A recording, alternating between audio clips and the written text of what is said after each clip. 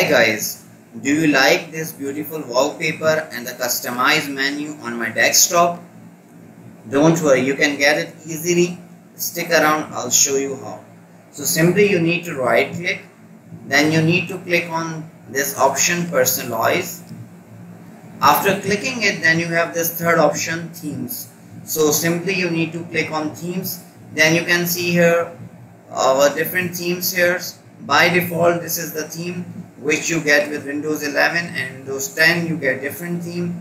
But uh, my favorite is this one. I like it and you can see how beautiful it is. Uh, you can select more themes from here and you have also an option if you want the light one. You can click on color and then you select from here and click on light. Now you see your menus and everything will become light but my favorite and my personal favorite is dark one because it's good on eyes and it, the colors are very vivid and it looks really nice.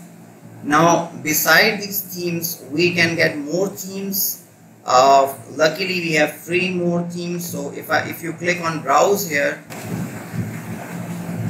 now you can see dozen of themes here and luckily it's free for us uh, there are so many free themes so you can click on any theme and then you can simply install and it will appear uh, right here. Right now I have all these themes uh, if I uh, want to install more I will simply click on that. So this is how you can simply customize the look of your laptop your PC either it's on Windows 10 or Windows 11 both have same method of doing it. I hope this video is really helpful for you if it is, give it a like, subscribe my channel and don't forget to share with your friends and colleagues. Take care. Bye.